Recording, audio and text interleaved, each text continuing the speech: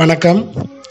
இப்போ நம்ம பார்க்கக்கூடிய இந்த ரெமடி என்ன அப்படின்னு பார்த்தீங்கன்னாக்கா அனைத்து உள் உறுப்புகளுக்கும் சீராக இயங்குறதுக்கு ஒரு அருமையான ரெமடி இந்த ரெமடி அப்படின்றத விட உணவு அப்படின்னு தான் சொல்லணும். நம்மளுடைய பாட்டி காலத்தில் அதாவது நம்ம ஜென்ரேஷனில் இன்னைக்கு உணவு பட்டியல் ரொம்ப மாறிடுச்சு நம்ம அப்பா அம்மா அதுக்கு முந்தின இருந்த ஜென்ரேஷன்லாம் பார்த்தீங்கன்னாக்கா வாரத்தில் ஒரு நாள் அல்லது ரெண்டு நாள் குறைஞ்சபதம் மாதத்தில் ஒரு நாலு நாளாவது இந்த மாதிரி உணவுகள் வந்து அதாவது ஸ்நாக்ஸ் மாதிரி சாப்பிட்ருக்காங்க நம்ம இன்றைக்கி வந்து ஸ்நாக்ஸ்னாலே ரொம்ப ஸ்வீட்டாக சாக்லேட்ஸாக நிறைய எடுத்துக்கிறோம். பட் அந்த நேரங்களில் வந்து பார்த்திங்கனாக்கா மருந்து வந்து மருந்து இல்லாமல் உணவு ரீதியாக கொடுத்து உடம்ப அனைத்து உறுப்புகளையும் சீராக இயங்க வைக்கிறதுக்கும் நல்ல ஆக்டிவாக இருக்கிறதுக்கும் இந்த மாதிரி உணவு பட்டியல் கொடுத்துருந்துருக்காங்க.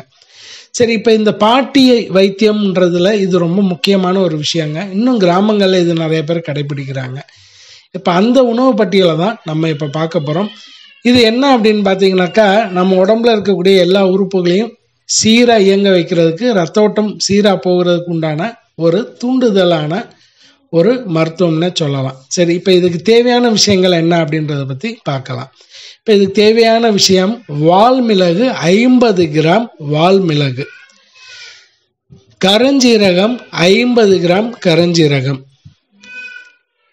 ஜீரகம் நார்மலாக வீட்டில் உபயோகப்படுத்தக்கூடிய ஜீரகம் ஐம்பது கிராம்.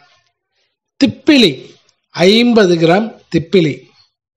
சுக்கு ஐம்பது கிராம் சுக்கு. சுக்கு நல்லா தோல் நீக்கி சுத்தமாக இருக்கிறது. இது எல்லாத்தையும் வாங்கி பவுடர் பண்ணிட்டு கல்கண்டு. இதுவும் ஐம்பது கிராம் அளவுக்கு எடுத்துக்கலாம். ஸோ இது எல்லாத்தையும் பவுடர் பண்ணிட்டாக்கா நமக்கு வந்து பவுடர் பேஸில் ரெடி ஆயிரும். இதை வந்து நெய் ஊற்றி லட்டு மாதிரி பிடிச்சும் வைக்கலாம். இல்லாட்டினா இந்த பவுடரை வந்து இப்போ நம்ம ஆல்ரெடி வந்து என்ன செஞ்சுருக்கோம்? கல்கண்டை கலக்கியிருக்கோம். இல்லையா? அப்போ அந்த கல்கண்டோடைய வெது வெதுப்பான சாதம் அதாவது ஒரு கைப்பிடி அளவுக்கு நல்ல சூடான சாதத்தை நெய் ஊற்றி பிசைஞ்சு இதையும் ஒரு டீஸ்பூன் அளவுக்கு எடுத்துக்கலாம். இதை டெய்லியும் ஐந்து கிராம் அளவுக்கு எடுத்துக்கணும். இருபத்தோரு நாள் நாற்பத்தெட்டு நாள் இந்த மாதிரி ரெண்டு விகிதத்தில் எடுத்துக்கலாம். ஒவ்வொரு மூன்று மாதம் இல்லது ஐந்து மாதத்துக்கு ஒரு முறை இருபத்தோரு நாள் நாற்பத்தெட்டு நாள் இந்த இந்த வகையான ரெமடியை கடைப்பிடிக்கும் போது உடம்புல இருக்கக்கூடிய எல்லா உறுப்புகளும் சீராக செயல்படும். அது மட்டும் இல்லாமல் எந்த நோய் இல்லாமல் எதிர்ப்பு சக்தி அதிகமாகும். இது முயற்சி பண்ணி பாருங்க. ரொம்ப நல்ல மாற்றம் கிடைக்கும்.